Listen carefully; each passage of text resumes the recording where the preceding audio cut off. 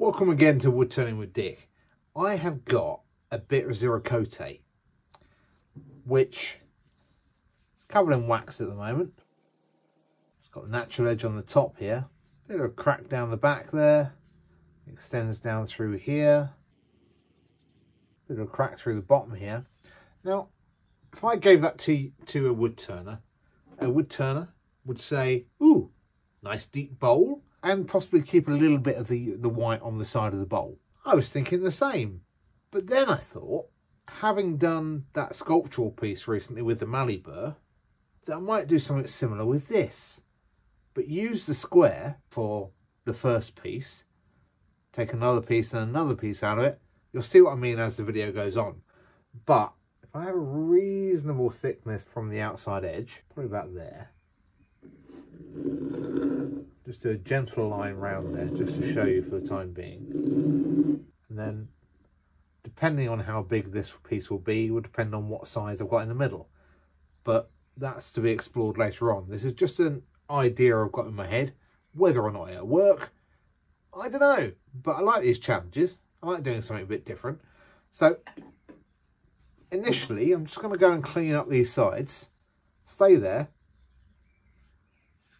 because I want to see what colour wood's underneath this wax. I mean, I appreciate that once it's all finished and beautiful, it's going to come up this sort of colour. But I want to see the grain, I want to have a closer look, because it's a bit challenging to see the grain, etc. at the moment. Next thing to do is actually just take a little bit of the face off the top and the bottom. This is my flatter side. This is a bit rough with this here and a bit uneven. So I put that through the planer. Take a, a few mil off the top there down till down to get rid of this. And turn it over and do the other side. But just before I do that I'm going to try and tidy this up a bit. Now if you've watched any of my other videos you would have seen me with the bog oak and the bark and, it, and taking that off with a wire brush in the grinder or on a drill.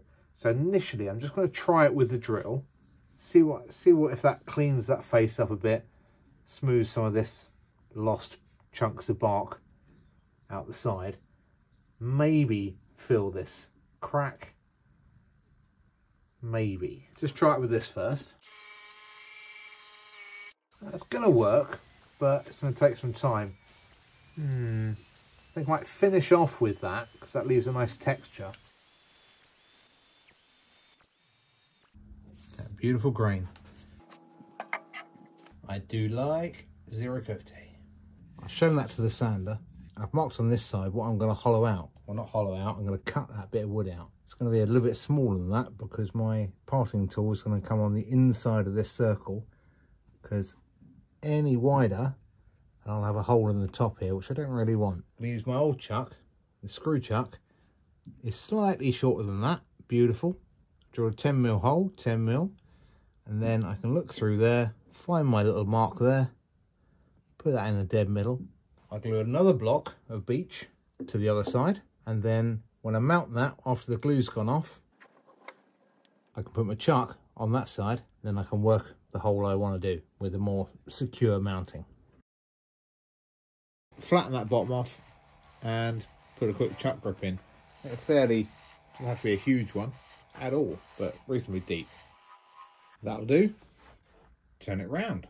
Now I don't really need this on the other side now, but rather than just cut it off, I'm going to put a chuck grip in and then I'm going to cut it off for future use.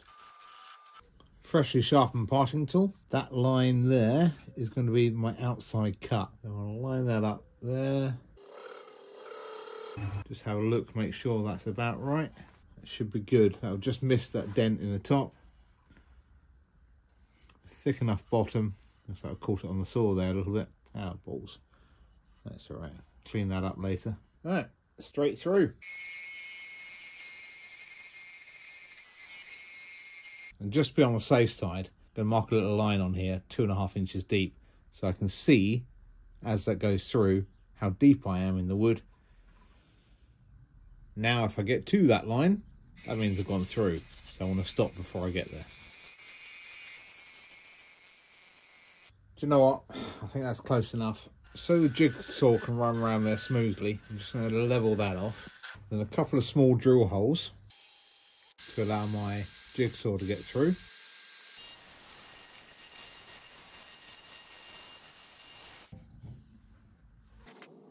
I've got a fair amount of sanding on the flat wheel, haven't I? Oh well, it's going to be worth it in the end.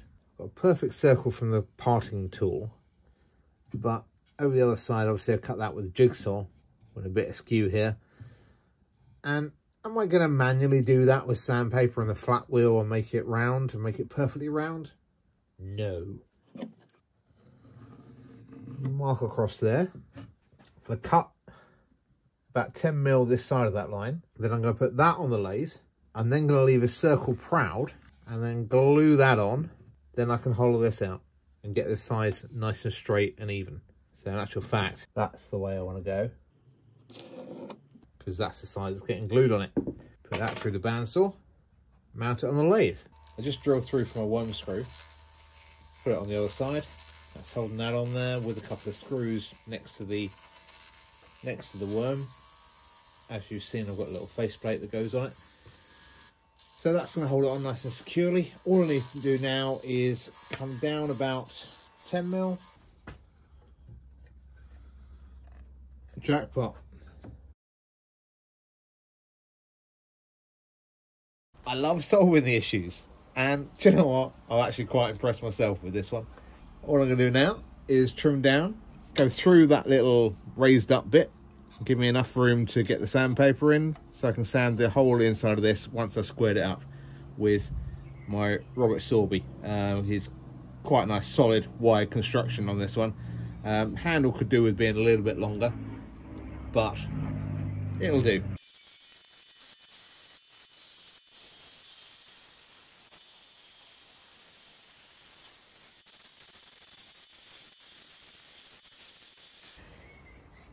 It's starting to get reasonably thin there and I've still got that to get out.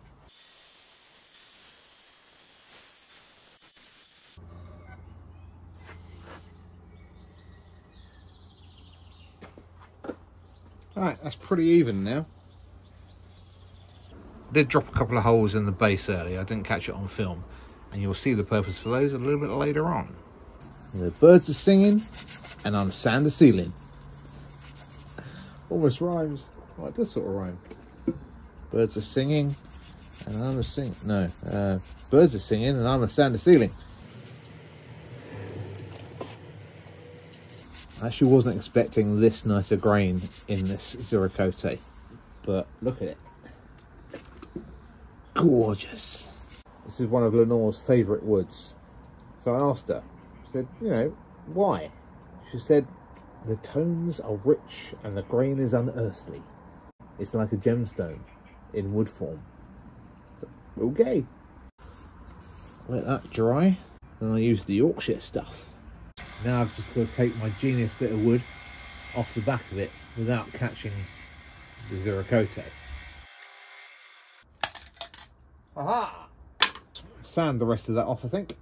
And look! I got it fairly even. That's almost bang on.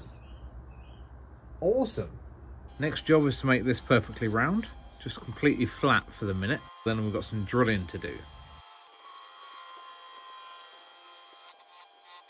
Front side should be pretty good, but I just run out, run very thin cut off of there, and then just flatten this back side so it'll fit in my vise in a minute.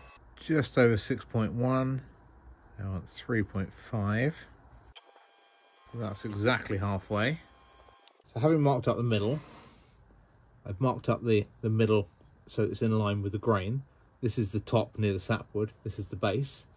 And I'm going to put a 3 mil bit down through so it comes through nearly all the way, but not quite. So it's a nice long drill bit.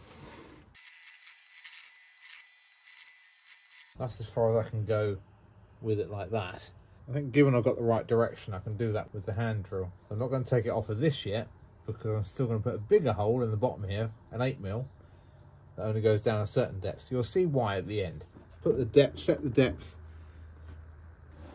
there, because that needs to be the rod needs to go in there and hold that securely on there. So as deep as I can get and then I'm just going to make sure I don't come I don't cut this past because that's quite important.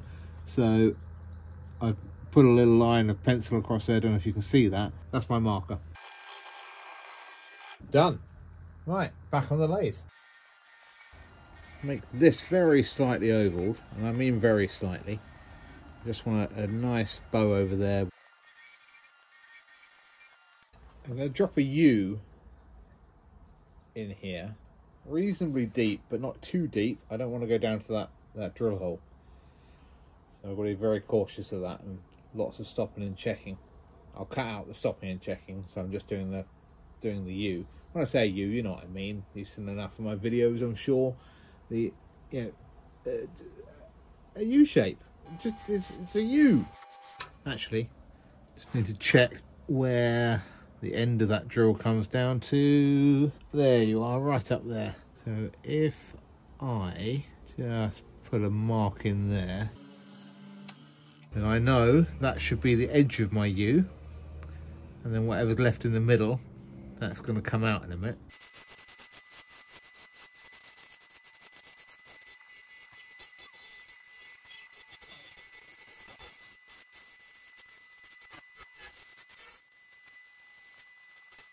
Right, I'm not going to push my luck any more, more than that. I'm going to start the cutting out of the middle, which is going to be really quite small now.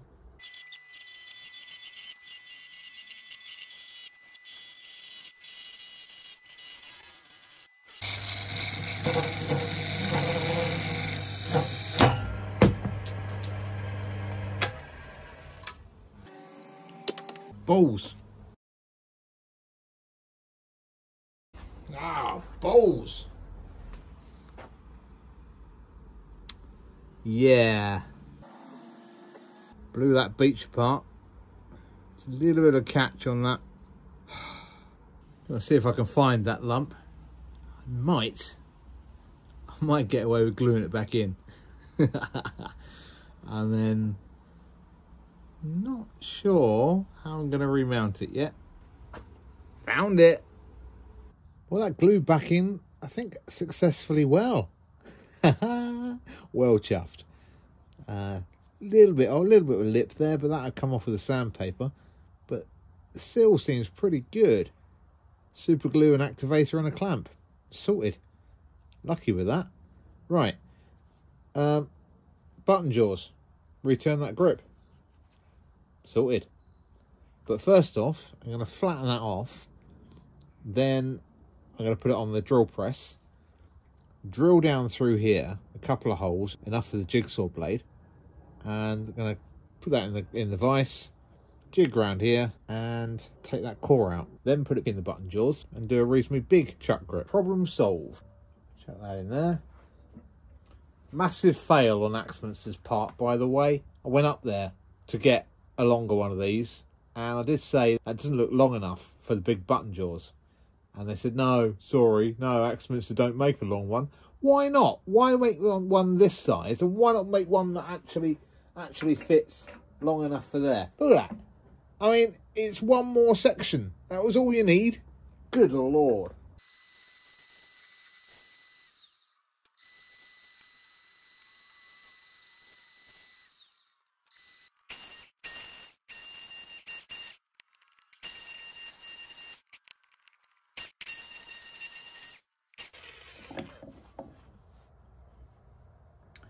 Well, that's not exactly what I planned, but I can still work with it.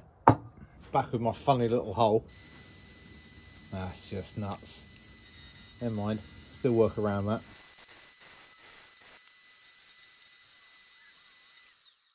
That'll do. It's back on. It's not perfect, but then again, I wasn't really expecting it to be perfect. I'm going to re-round that very slightly. It shouldn't take too much. And then we can play with this side.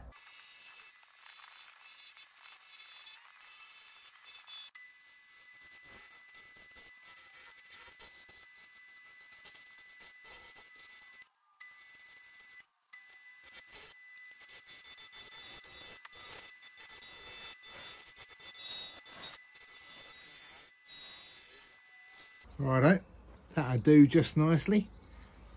I've also got the other side to do. I'll do that on the button chuck, but I've got a lot of sanding to do now.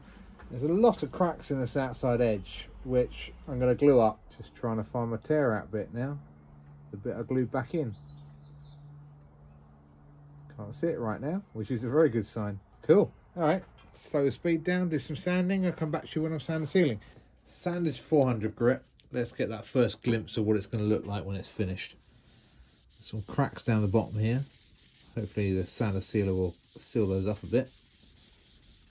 I'm actually going to leave the sander sealer overnight because it's actually quite late right now. So I'm going to put this on, let it dry overnight. Not that it needs overnight, but nice thick coat. Then I'll denib it. And I won't wax it until the whole thing's finished because it's got to go in those button jaws. I don't want it being a bit slippery. But that grain's coming up quite nicely. Lovely dark veins.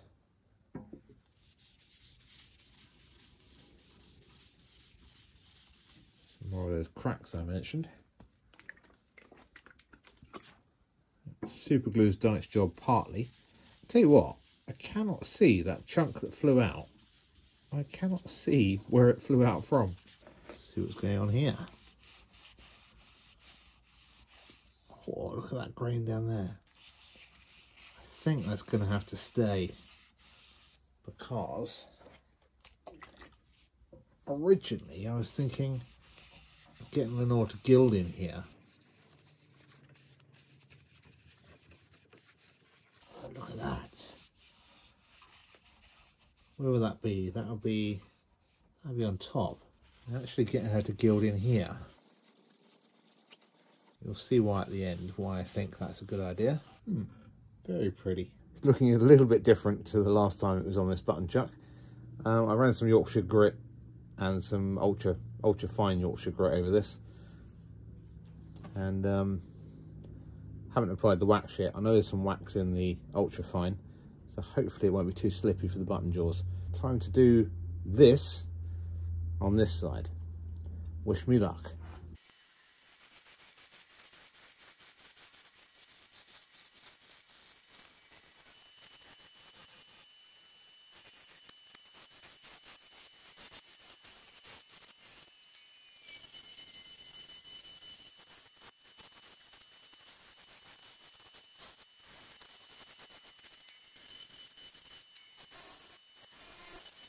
In hindsight, I should have measured the opening on the other side and felt for more gradient. I think that's going to be pretty similar once the sandpaper's been through there. Do you want me to go through the process of Yorkshire grit? Let me know on a future video. It's not rocket science, but can be helpful to have some tips sometimes from somebody who's used it before. Yorkshire grit still to go, but slap some of that sander sealer on, to show you the other side. I think this side's prettier than the other side. I might need to turn it around in a minute. Oh, look inside there. Although inside there is likely I'm going to do the gilding in there. I think. I think I'm pretty much decided on that. We will see. Lovely. And the last piece of the puzzle. I glued on an old chuck grip that I had laying around, which fitted beautifully so I could help centre it. And it's reasonably centre. All I want out of this is a small ball.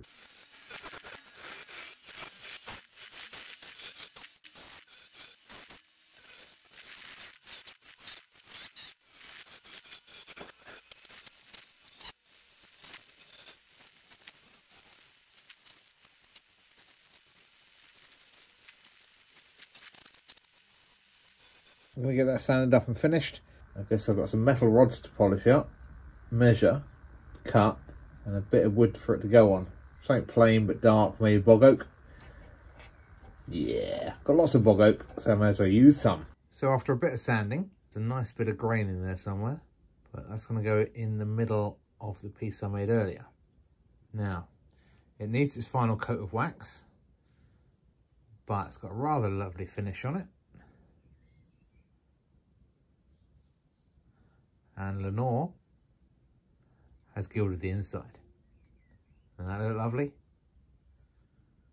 It really does bounce the light, the light nicely. grain aside from that. Originally, as I might have mentioned earlier, this was all going to be gilded, but with that grain being so very lovely and the flow through, look at where that comes through there. Definitely going to keep that. Not gilded. So now I've got to fix that ball in there. Before I sent it to Lenore, I measured up and I found some 3mm stainless steel rod and I found some 4mm pipe. That fits in there perfectly. So I've cut an appropriate length piece of 3mm and a couple of spacers. Then my ball will go in between. Poke that up in there. I'll do my very best not to touch the gilding.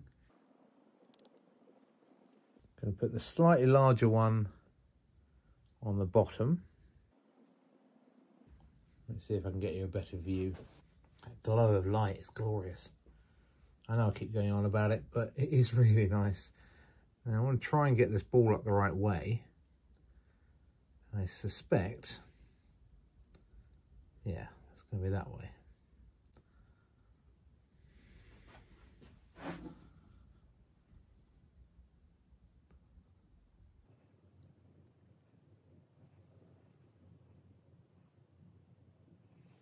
here comes the challenging bit. Getting this in there without scratching it. Just going to slide a bit of tissue in underneath that ball just to lift it up on the little bit of play there is at the moment. I can more easily get this in place.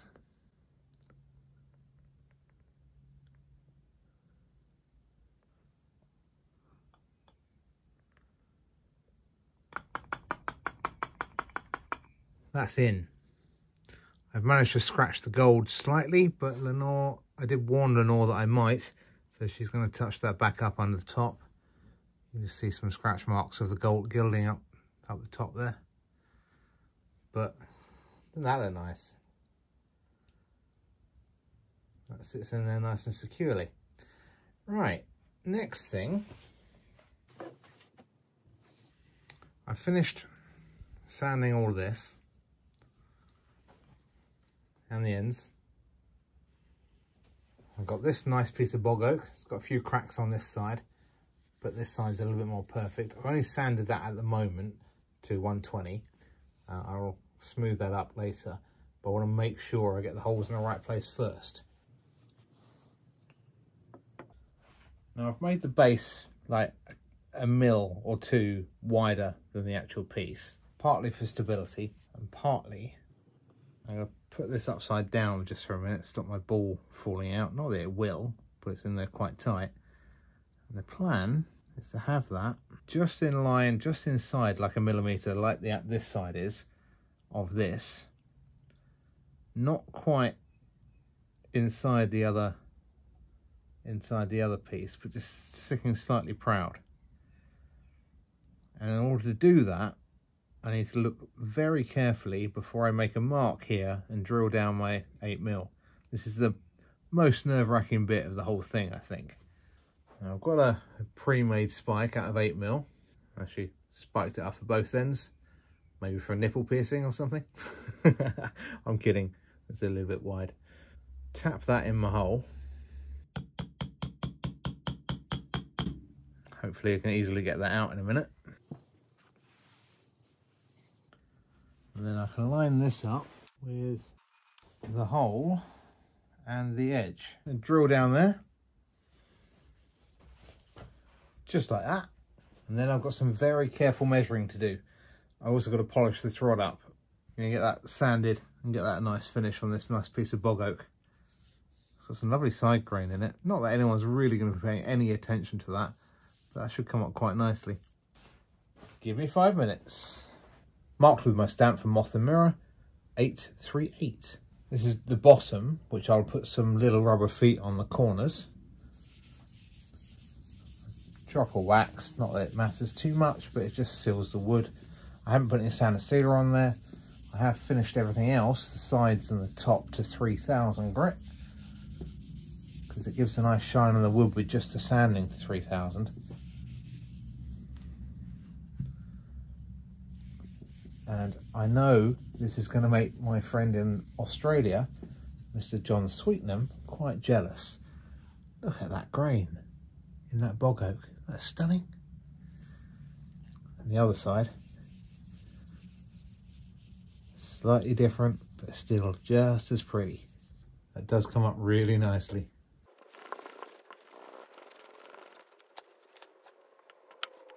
Now, putting that to the side for the minute. My polish rods. Now, these are a proper tight fit in here.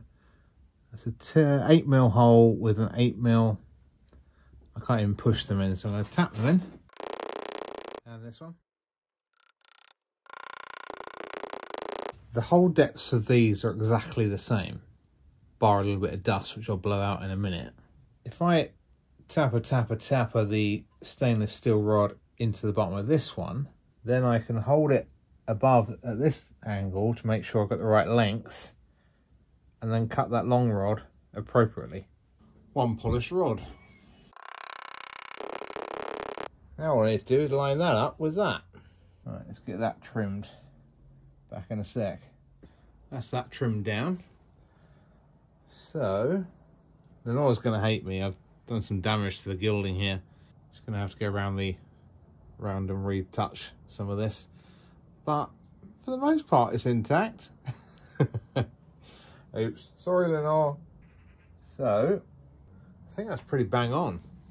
Last little thing really is to knock these into the base.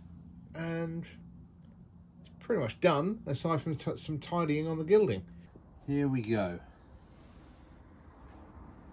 Get this around the way, right way I want it. Pop that in there, that in there. Hey, 13.2. 13.2. Close. We're there. Just need some final dusting, a little bit of wax, some attention on the gilding, and we have a wonderful perspective piece that can be displayed 360 degrees. I do I do need to get Lenore to tidy up that gilding, but otherwise that's looking pretty perfect. Happy with that.